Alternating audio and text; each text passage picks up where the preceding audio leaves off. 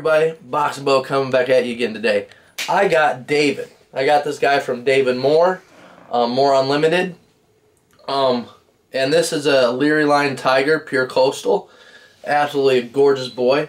I want to talk to you guys. I've been seeing a lot of problems with people and not knowing what to do with RIs. Okay, now I'm gonna let's break it down. Okay, your snake, you got a you got a snake. It's got an RI. Okay, you've never experienced, you never had it get online, start doing research. Okay, that's great. Now, I also understand not everybody can take their animal to a vet. But what a lot of, uh, of us experienced keepers do is we keep Tylan 200 on hand at all times. And make sure you pay attention to the expiration dates and stuff like that. Um, I keep this on hand at all times. I have it to treat RI. Now, that being said, okay, I have, I get to say David here started giving me symptoms of an RI. A little bit of raspiness. I open his mouth. He's got a little bit of mucus in there and stuff like that. Obviously, he don't. Right now, he's going shh because he's been crawling around on me for a little bit. But he's absolutely a great boy. But say, you know, okay, I notice, you know, because I check on my snakes several times a day.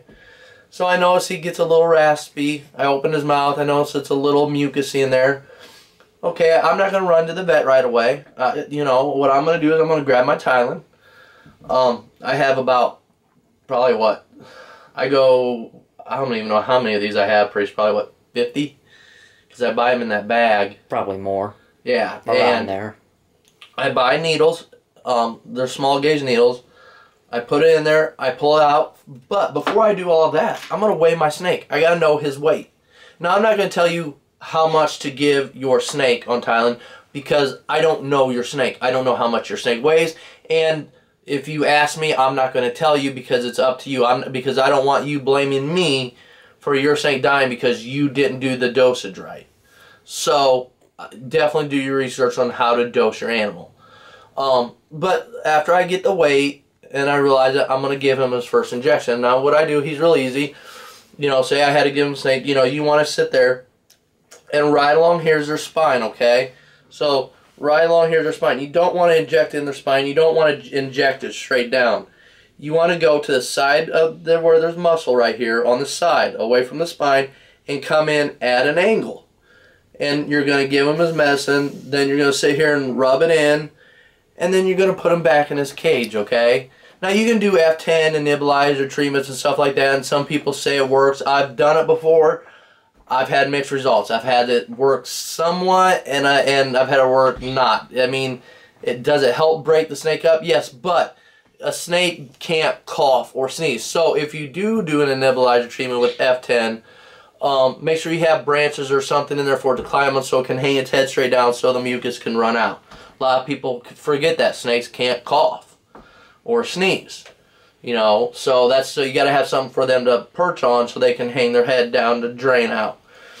I'm going to give my animal that injection, okay? Some people inject every day, some people inject every two days.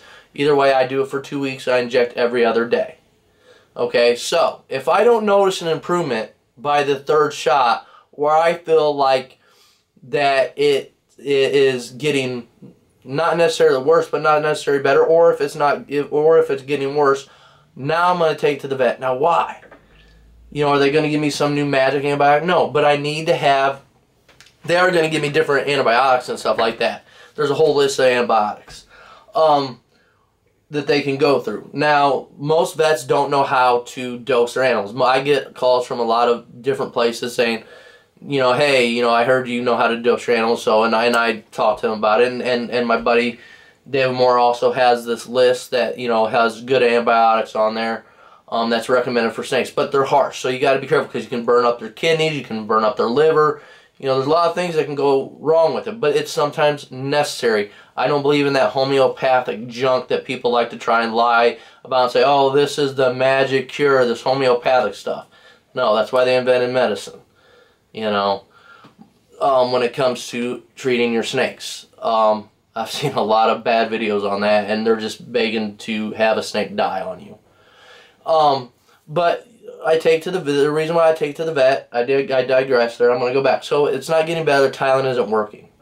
I'm going to go to the vet. I'm going to have a culture done. I'm going to have a swab done and culture done so I know exactly which type of bacteria I'm working with so that way I can develop a better strategy with my veterinarian on an antibiotic course to treat my animal for RI. You know, so that's the thing. You know, I start off with Tylan. If it doesn't improve or if it gets worse, then I'll take it to the vet. I'll have a culture done. I will find out what what bacteria is going on here, what's at work here. Then, like I said, we will devise a plan of what antibiotic to use. And sometimes when you do an antibiotic treatment, it doesn't work. You want to give it, you know, about two or three weeks off, and hopefully the animal is still surviving by then, and you start a different antibiotic treatment, and hopefully that one will kick it. Sometimes they just get bad respiratory infections. Um, you know, don't automatically think that if your snake has respiratory infection, it's got nidovirus. That is something you need to do a swab for too, and have that sent off to to find out that. And even if it does have nidovirus, you still got to treat the respiratory infection. You know, so I definitely recommend, you know, getting, doing Tylan, doing your research on it, learning how to do it, you know, and there's lots of videos out there that will, that will show you how to inject it, and there's people that will tell you how much to dose your animal. I'm not one of them people. I'm not going to show you how to dose. I'm not going to tell you how much to use because I don't know your snake and I don't want to get blamed. I just think you should, every every person that has a collection should keep this on hand. It's like 50 bucks. It costs me I buy a new bottle every single year. It costs me 50 bucks at Tractor Supply Company. Um, the other antibiotic I keep on hand is Baytril, um, which is I don't have I didn't bring upstairs. Um, that is that's an antibiotic that if Tylan don't work, I might give Baytril a try, and the Baytril don't work, I'll do I'll do the vet. But usually, I, I, I don't really like to use Baytril a whole lot. Um, I'd like to give Tylan Tylan the first shot. So that's that's the thing with RIs, and and so just because you get a snake with RI doesn't mean it's the end of the world. Learn from it. Um, I want to talk more about RIs. Um, a lot of people say, "Oh, you kept your snakes too cold, and that's why it got an RI."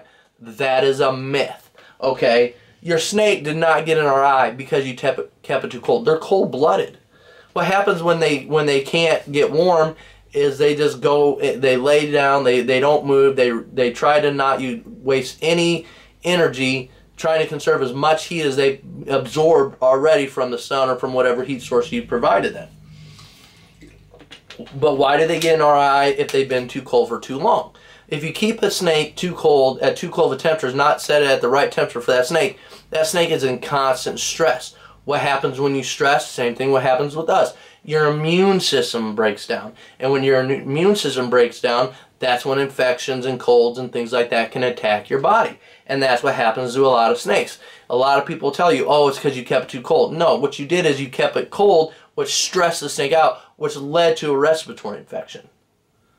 Or same thing can happen if you keep it too hot. Same thing can happen um, uh, with breeding. You know, a, male wants to breed or a male can't breed. I know a lot of people say, oh, I don't want to breed.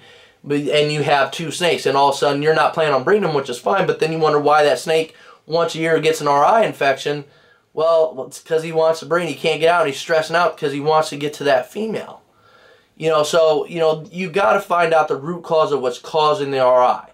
You know, are you keeping your animal at too cool of a temperatures? You know, for too far too often, like you, your temperatures aren't in the optimal range of where they should be. Are you? Are they having too high of a spike of temperatures for far too long? You know, are you sitting there stressing them out? You have a snake that isn't wanting to eat, so you're constantly messing with it, constantly throwing a live rat in it, a live mouse in it, trying to force feed it. Force feeding, even when I do, and I've done it to save a lot of snakes. I, too, I truly believe in it um, I do as a last resort. I might for, force feed a snake once once a month to once every two months just to keep it healthy until it starts getting going on its own. You know, that's going to cause stress. So can a snake get an RI from that? Yes, of course it can because it's stressing out. You're bothering it. You know, so the biggest thing you can do is just, you know, let the snake be a snake. Sometimes, you know, I see people doing things that are is causing stress related things, you know. Another thing that I know, I know a lot of people get RIs from um, is when they keep uh, rodents in the same room with the reptiles, which I understand a lot of people do that and some people have no problems.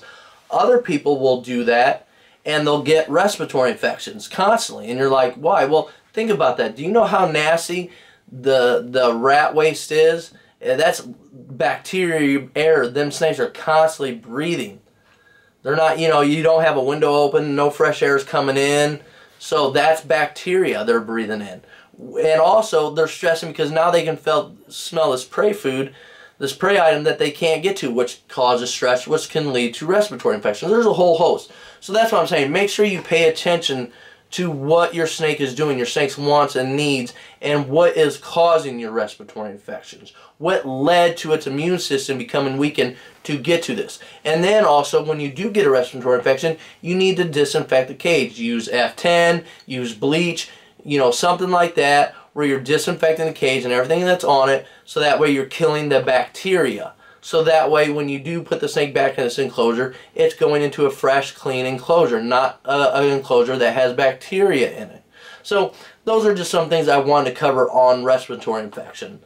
Um, I know it's you know it's a hard topic. Like I said, every keeper should keep this on hand. Um, make sure you speak to an experienced keeper. If you have an experienced keeper that's local to you, get a hold of them. But they know what they're they're a good keeper and they know what they're doing. They know what this is and they know how to use it and they will give you advice. Just like me, if somebody if I know somebody in my town that needs help with Tylan, I will help them on injecting their animal and telling them. But when it comes to the internet and stuff like that, don't ask me because I won't tell you. Not because I'm trying to be rude or mean or anything like that, but I'm not going to be blamed for your animal not making it. Um, so that's what I wanted to cover today. So hopefully you guys got that and you understand where I'm coming from, what I'm talking about. Um, hopefully you guys have a blessed and positive day because you guys know I'm going to. Please like, click, share, and subscribe. Hit that notification bell so you know when I upload or you know when I go live. And this is Priest behind the camera, always doing that good camera work for me. And I got David here. And uh, this is Boxbo saying peace. You gotta love